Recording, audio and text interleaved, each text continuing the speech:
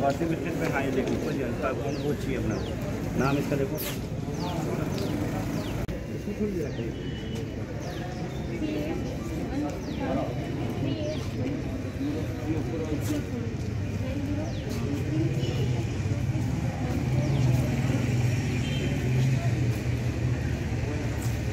छोड़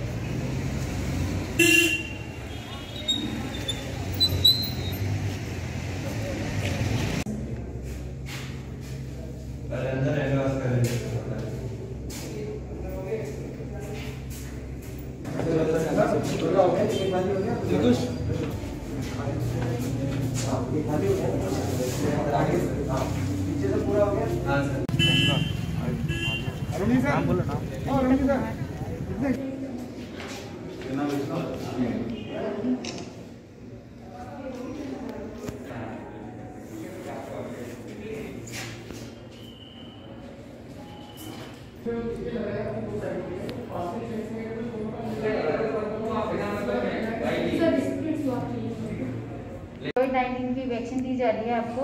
इसके दौरान आपको चक्कर आ सकते हैं। हेडेक हो सकता है फीवर हो सकता है। ये नॉर्मल प्रोसेस है। इसके लिए आपको पैरास्टामोल दी जाती है।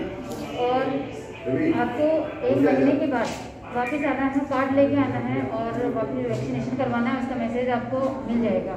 और तीस मिनट के लिए आपको ऑब्जर्वेशन रूम में रुकना है और निगरानी में रहना है। अगर आपको ज़्यादा चक्कर आते हैं जी घबराता है तो आपको ऑब्जर्वेशन में डॉक्टर्स देखते हैं। Thank you.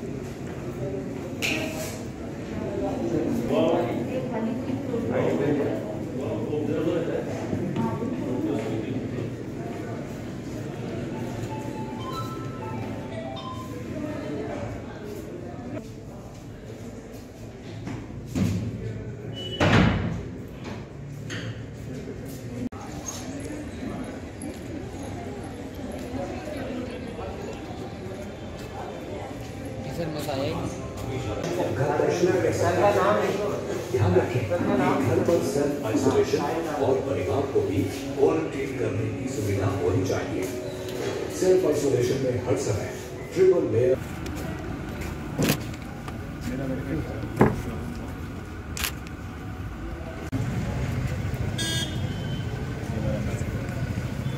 ये आईडी कार्ड देखेंगे और मैसेज भी देखेंगे तो कौन सी किसको कब देनी है समझ बीपी अब जब अप डाउन होगा वो भी चेक करेंगे। हाँ सर इसको फिर ऑब्जर्वेशन रूम जो बना हुआ है उसमें सब तो फिर आग अंदर आदमी यहाँ से नो करेंगे सर। अब यहाँ से सर जाएँगे वैक्सीनेशन कराने। वैक्सीनेट होने के बाद मैं यहाँ से मतलब आधार नहीं है ये नो कर दिया आधार है आधार यस मैं बट नहीं नहीं रुको रुको तो मैं नो किस लिए बताऊँगा आपको। आधार और मोबाइल नंबर दोनों कॉम्बिनेशन हाँ सर। ओ टी पी अगर यहाँ नहीं आता तो मतलब वो फिर उस वजह से आदमी है। हाँ। सर फिर यहाँ से सर वहाँ वैक्सीनेट कराएँगे। तो अभी सर इंट्रामस्कुलर ही आया। Point five M L delta पे लगाएगी।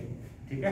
इसको लगाने से पहले मैं आपको बताना चाहूँगी कि इसको लगाने के बाद आपका हेडेक हो सकता है और एक हो सकता है फीवर हो सकता है दो तीन दिन के लिए नॉर्मल से दिया सर। तो इसके लिए आपको डरना नहीं घबराना नहीं। ठीक हाँ। कि ये आज तो डॉक्टर अरुण कुमार गोरवा से सक्सेसफुली वैक्सीनेटेड मैं यस कर दूँगा मैंने यहाँ से यस करने के बाद ये इनका आ गया यहाँ आ जाएगा पार्शियली वैक्सीनेटेड आ जाएगा सर मेरे यहाँ फ़र्स्ट डोज लगाया और सर के मैसेज चला जाएगा कि भैया आ गया। मैसेज आ गया। तो यहाँ डॉक्टर रहेंगे या वहाँ रहेंगे? ऑब्जर्वेशन एक डॉक्टर को पीडियाट्रिशियन और पीडियाट्रिशियन को रख है। आज हालाँकि पीडियाट्रिशियन का इसमें है नहीं पर हमने एक डॉक्टर कोविड वैक्सीनेशन के लिए जो ड्राई रन आज हुआ है, सबसे पहले हम माननीय मुख्यमंत्री जी का गवर्नमेंट ऑफ़ इंडिया का आभार व्यक्त करते हैं कि भीलवाड़ा ज़िले का कोविड वैक्सीनेशन के प्रथम चरण के लिए चयन हुआ है। आज जैसा कि आपने यहाँ देखा है 25 हेल्थ वर्कर्स हेल्थ स्टूडेंट्स को टीकाकरण के लिए मॉक ड्रिल के लिए यहाँ बुलाया गया। उनको पहले मैसेज गया। मैसेज आने के बाद उनका मैसेज का वेरिफिकेशन किया गया है।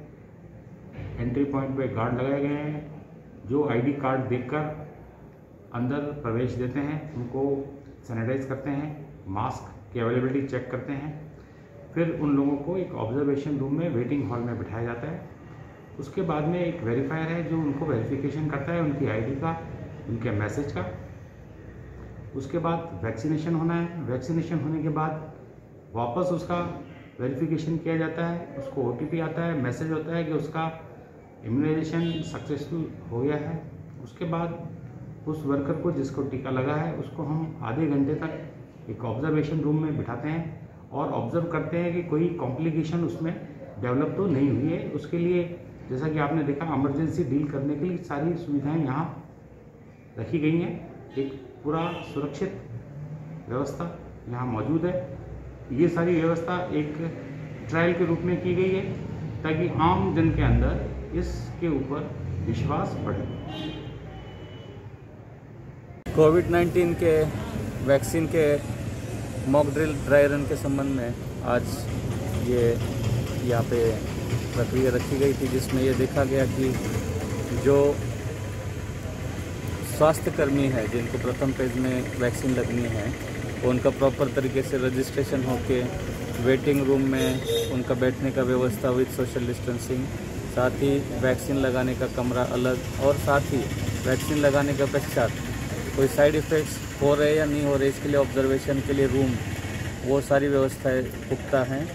और इस प्रकार की सेशन साइट्स का आज ड्राई रन हमारे भीलवाड़ा ज़िले में दो जगह पे हो रहा है।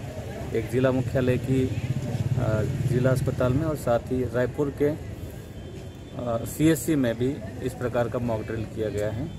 और जिला प्रशासन और स्वास्थ्य विभाग की पूरी तैयारियाँ वैक्सीन की है। हमारी मेडिकल की टीम अच्छा काम कर रही है और वैक्सीन कभी भी आ सकती है और उसके लिए हम तैयार हैं। बस फिर भी मैं ये कहना चाहूँगा लोगों को, सभी आमजन लोगों को कि अभी वैक्सीन आए तो भी हमें मास्क लगा के रखना है, सोशल डिस्टेंसिंग बना के रखना है, सामाजिक दूरी बना के रखना है कोविड गाइडलाइंस की सभी पालना करनी है। सर तैयारियाँ कैसी लगी सर यहाँ पे? जिस तरह से जो आप अभी यहाँ पे आपने अवलोकन किया उसको लेकर केंद्र सरकार और राज्य सरकार की जो गाइडलाइन आई है तीन अलग अलग कक्ष होने चाहिए सोशल डिस्टेंसिंग के साथ होना चाहिए जिसका रजिस्ट्रेशन हुआ है वही आना चाहिए। और साइड इफ़ेक्ट्स नहीं हो या हो गए तो उसके लिए ऑब्जर्वेशन रूम ये सारे गाइडलाइन के अनुसार पूरे तरीके से अच्छी तरीके से व्यवस्थाएँ हैं और अच्छी तरीके से वैक्सीनेशन का पूरा प्रोग्राम पूरे ज़िले में लागू किया जाएगा। Thank you sir